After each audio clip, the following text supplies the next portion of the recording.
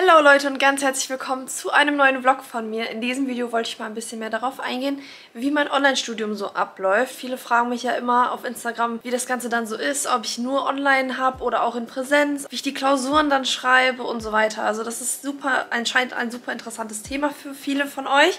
Kann ich auch voll verstehen. Und genau, ich dachte, ich gehe in diesem Video ganz easy mal darauf ein, beantworte euch nicht ein paar Fragen, sondern ich gehe einfach mal generell darauf ein, so ein kleines Video. Dann zeige ich euch auch mal ein bisschen, wie ich mit meinem iPad und MacBook so für die Schule, äh, für die Uni lerne. Aber ich dachte, ich starte den Vlog jetzt einfach, weil ich schreibe jetzt gleich ähm, eine Klausur um 14 Uhr. Ich habe die heute auf 14 Uhr gelegt. Es war kein früherer Termin leider frei. Und ja, ich schreibe sie genau hier an diesem Tisch. So, wir haben jetzt 16 Uhr und ich habe die Klausur gerade geschrieben. Habe gerade was noch gegessen und fahre jetzt ins Gym. Ich wollte euch ganz kurz mal mein Klausuren-Setup zeigen. Ähm, es ist jetzt nicht mehr ganz vollständig, weil die Klausur ist ja schon vorbei. Auf jeden Fall sitze ich bei der anderen Klausur immer hier am Tisch und hier steht dann mein Laptop, auf dem mache ich die Klausur. Das iPad ist natürlich nicht da und ja, da ist noch ein Glas Wasser. Und genau, hinter mir steht dann ein Stativ. Das ist jetzt auch nicht mehr da, aber das stand da gerade. Das steht ungefähr hier und sieht dann mich aus dieser Perspektive. Habe ich diesmal mit dem Handy gemacht. Letzte Klausur hatte ich das iPad äh, da hinten an die Wand gestellt. Da hatte ich nämlich das Stativ noch nicht.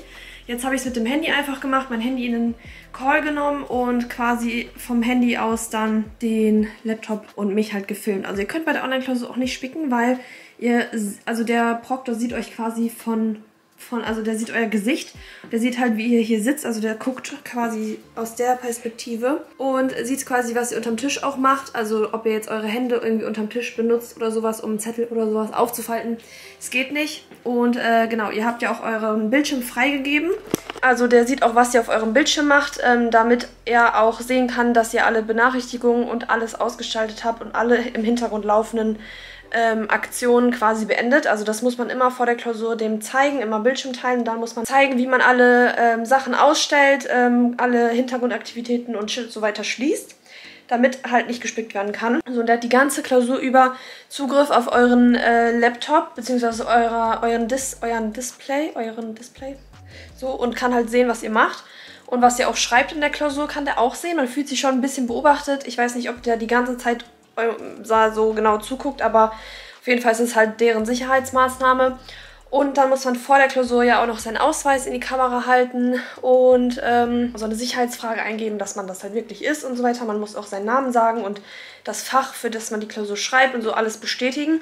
Und man muss einmal mit dem Handy zum Beispiel jetzt, was hier auf dem, also was die externe Webcam sozusagen ist, einmal den kompletten Raum rundum filmen. Das wird aufgenommen, also das ganze Ding wird aufgezeichnet, damit man nachher noch nachverfolgen kann, ob es vielleicht zu einem Fälschungs Fälschungsergebnis oder Versuch, ähm, ja, ob es irgendwie dazu gekommen ist. Genau, also es wird alles aufgenommen. Auf jeden Fall habe ich die Klausur abgegeben. Ich fand sie sehr schwer. Ich habe zwar sehr viel gelernt, aber trotzdem musste ich echt oft raten weil ich ähm, sehr viele Sachen, die halt gefragt wurden, irgendwie trotzdem nicht in meinen Lernzetteln drin hatte, leider.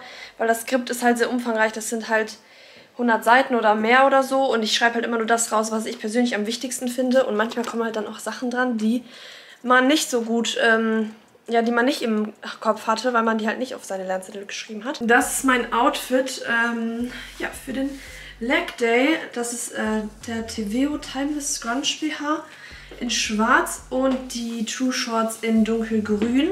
Sehr nice Farbe. Ihr könnt es jetzt gerade nicht so gut sehen, hier ist ein bisschen dunkel. Und genau, Air Force habe ich heute an. Ich ziehe meine Schuhe eh bei den wichtigen Übungen aus, also bei äh, Kreuzheben oder so, dann mache ich auf Socken. Deswegen ist es egal, ob die jetzt Sohle haben oder nicht. Und ja, ich habe hier alles dunkel gemacht im Wohnzimmer, nicht, dass ihr euch wundert, weil es unnormal äh, heiß draußen ist. Also wir haben, glaube ich, äh, 30 Grad gerade. Guten Morgen, Leute. Ich habe mir gerade Frühstück gemacht heute wieder eine Quark Bowl. Ich habe jetzt fertig aufgegessen und, beziehungsweise gefrühstückt erstmal und ähm, ja, mache mich jetzt einmal fertig, damit ich nicht mehr so lost aussehe. Ich habe irgendwie das Gefühl momentan, also ich habe mir letztens in meiner Insta, in meinem Insta-Story-Archiv meine alten Insta-Stories angeguckt 2020, glaube ich, ungefähr. Und da war ja auch so meine Vlogging-Zeit. Also ich habe da noch viel mehr gevloggt als jetzt. Also ich vlog jetzt eigentlich ja auch nur noch, aber es war halt einfach krasser so, die YouTube-Zeit. Da haben auch noch so viele YouTube gemacht und geguckt. Und mittlerweile gucken halt nicht mehr so viele Leute YouTube, habe ich das Gefühl. Ähm, was halt nicht so motivierend ist, sag ich mal, wenn, wenn ähm, damals, weiß ich nicht, waren alle aktiver irgendwie auf YouTube und jetzt mittlerweile ist es nicht mehr so krass. Und ich muss echt sagen, ich vergleiche mich schon sehr oft so mit meinem alten Ich. Also eigentlich vergleicht man sich ja mit seinem alten Ich und cringet sich, aber in dem Fall finde ich mich irgendwie 2020 irgendwie nicer als jetzt. Aber irgendwie sehe ich doch noch so anders aus, habe ich das Gefühl, obwohl ich auch nichts an meinem Aussehen verändert habe. Und was mir aufgefallen ist, Leute, ich hatte damals, als ich ähm, Insta-Stories gemacht habe, immer, immer ein Face-Filter drauf. Also ich habe nicht eine Story mich getraut, ohne Filter hochzuladen. Mittlerweile ist das mit den, ist das mit den Filtern auf Instagram echt so krass zurückgegangen. Ich habe das Gefühl, ich folge kaum, ich folge eigentlich keinem mehr, der Facefilter benutzt. Ich habe jetzt schon das Reel gedreht und geschnitten. Ich habe schon die Wäsche gefaltet, die fertig war. Die war noch unten, die habe ich hochgeholt. Ich glaube, ich lasse mein Outfit auch jetzt einfach so an. Ähm, ich wollte nämlich jetzt gleich einmal kurz einkaufen fahren. Also ich muss nichts Besonderes einkaufen, nur Wasser. Ich habe gerade ähm, Vorlesung in Soziologie und wir reden gerade über... Ähm, Gender, also auch über solche Sachen wie ähm, Nagellack tragen, Röcke tragen, also Reiten, Pferdereiten und sowas, was das, wie sich das gewandelt hat über die Zeit, weil es manche ja eher Frauen machen und es eher als weiblich und das eine eher als männlich angesehen wird. Genau, und ich habe gerade einen Zitronenkuchen im Ofen. Ich habe nämlich extra Backmischung gekauft für einen Zitronenkuchen, weil ich hatte so Lust auf Zitronenkuchen. Ist jetzt kein gesunder oder so oder kein proteinreicher, sondern ganz normale Zitronenbackmischung. Aber die habe ich gerade im Ofen und der Kuchen sollte dann auch gleich fertig sein. Ich freue mich mega auf den Zitronenkuchen. Wir haben uns später noch verabredet mit zwei Freunden, also mit einem Couple, mit dem wir auch, mit denen wir auch öfter was machen. Und ähm, ja, wir gehen später noch schwimmen ins Freibad. Freunde, schaut euch bitte diesen Prachtkuchen an. Wow, das sieht so toll aus. Ich habe da so ein Muster, extra so ein Muster reingemacht mit der Gabel in das in Zuckerguss und die Streusel sind so schön bunt. Ich freue mich so sehr, das später zu essen. So, wir gehen ja gleich schwimmen und deswegen mache ich mir jetzt doch einen hohen Zopf einfach. Mache immer meinen hohen Zopf mit diesem Haarkleber. Genau dazu passend das Haarspray. Das ist wirklich nice. Das ist zwar alles relativ teuer, finde ich, aber das hält halt auch, was es verspricht. Und dann benutze ich hier diese Bürste. Die habe ich bei die habe ich im Internet irgendwo bestellt damals. Die ist auch richtig klebrig, weil ich da immer das Gel in den Händen habe. Aber mit der kriegt ihr das so richtig schön glatt alles. Ich nehme jetzt hier so ein bisschen Kleber. Und dann gehe ich immer über Kopf. Guck mal, ihr seht schon direkt, dass es so krass klebt. So, dann habe ich hier jetzt noch die Seiten und hinten, wo kein Kleber eigentlich ist. Deswegen nehme ich dann noch mehr. Hier richtig schön rein, damit die ganzen Babyhaare auch hochgehen. So, jetzt ist alles schon relativ stramm, wie ihr seht. Dann gehe ich jetzt mit Haarspray überall drüber. Und dann hält das bei mir meistens noch nicht so richtig gut. Deswegen nehme ich dann noch so ein dünnes Haargummi und mache das auch nochmal drum. Also das ist jetzt der Zopf. Wenn ihr jetzt noch so Hügel habt, dann gehe ich nochmal mit der Bürste so drüber. Ziehe es nochmal ein bisschen fester. Und so mache ich dann meinen Zopf. So sieht er aus. So Leute, ich habe mir gerade eine Dose Thunfisch reingepfiffen mit Balsamico und jetzt gibt es noch 250 Gramm Magerquark.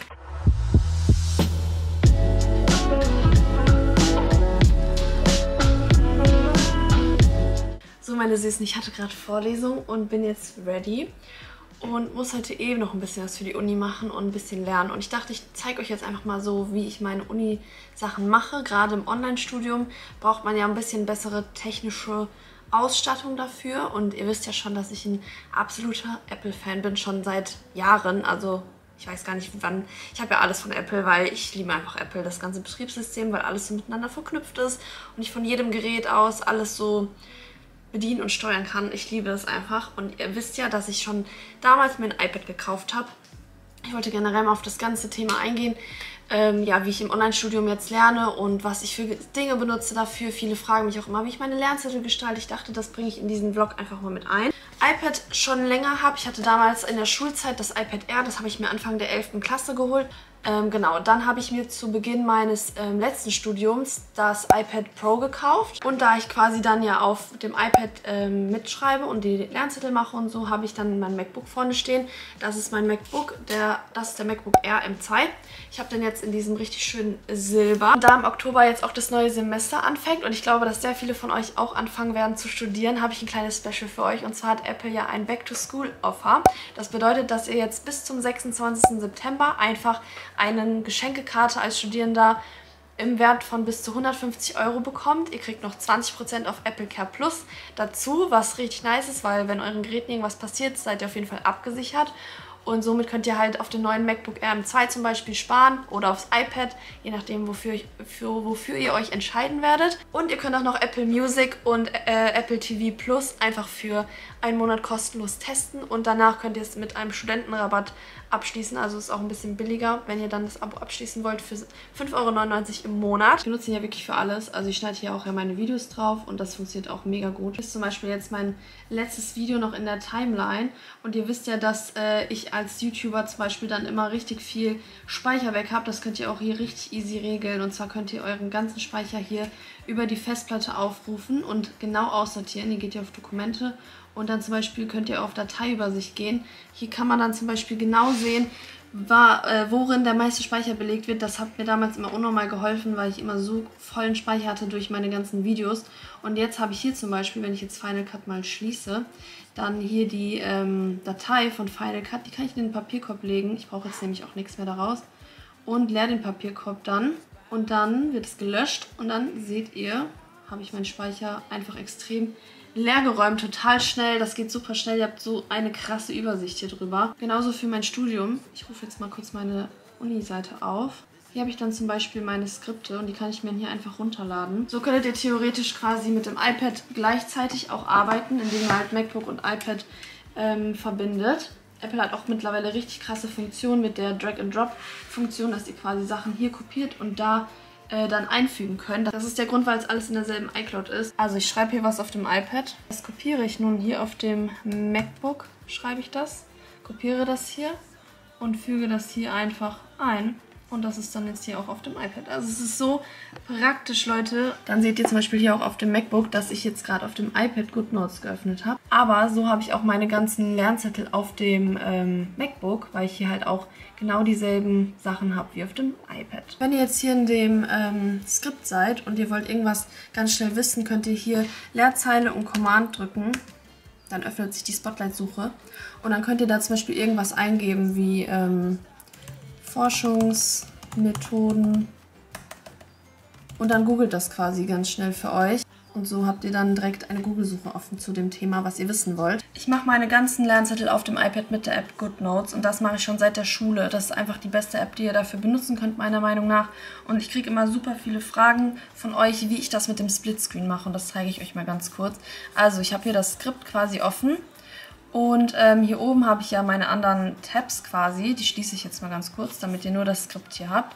Dann geht ihr quasi in die Lektion, die ihr braucht. Jetzt hier in dem Fall Lektion 1. Und dann ist es ja immer nervig, zwischen den beiden Sachen zu switchen, damit man halt gleichzeitig schreiben und lesen kann.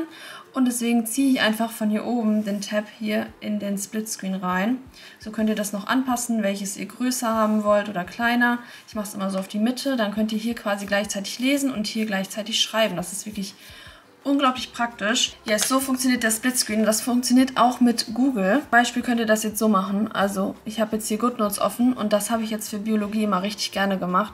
Wenn ich jetzt irgendwas im Internet googeln musste zu irgendwelchen Methoden oder so, dann habe ich hier einfach unten das hier einfach hochgezogen. Das geht so easy. Und dann zieht ihr einfach das Safari-Symbol oder von eurem Browser halt auch in den Splitscreen. Dann habt ihr hier halt die Sachen offen, die ihr wissen wollt oder so und könnt es hier ganz einfach auch hinschreiben. Ich wollte euch zum Beispiel zeigen, dass ihr hier auch ein Bild kopieren könnt und das einfach hier reinfügen könnt.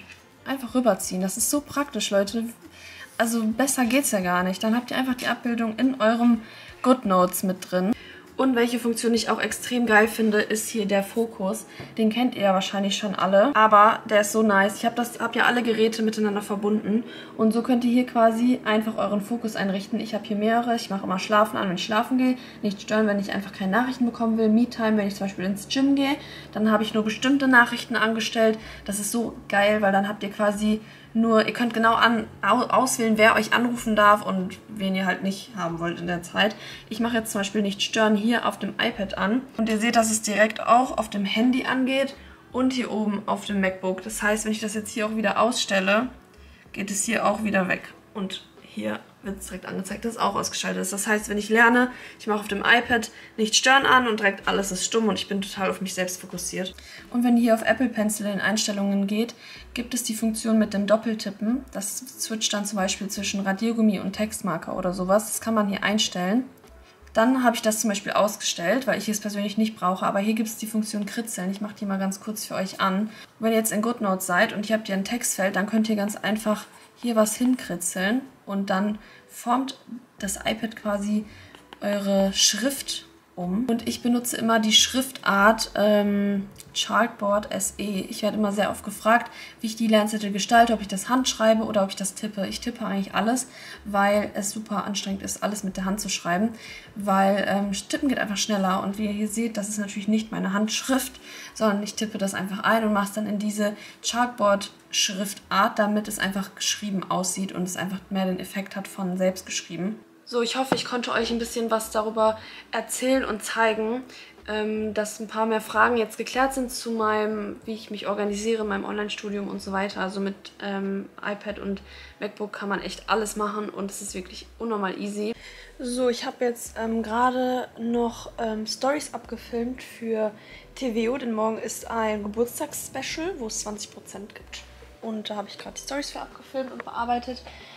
Das hat jetzt auch wieder ein bisschen gedauert und jetzt werde ich mich mal wirklich ans Lernen setzen. Heute kommt noch ein Paket an. Ich habe nämlich eine Tasche bestellt, eine neue bei Mango. Ich hoffe, die kommt später. Dann kann ich euch die zeigen. Ich freue mich voll auf die. Ich hoffe, die ist gut und groß und ich habe die bei Maya Reh in der Story gesehen und habe die direkt über ihren Link direkt gekauft, weil ich so lange schon nach einer so Tasche gesucht habe, die gute Qualität hat und eigentlich einen guten Preis hat für das, was sie halt hält und verspricht.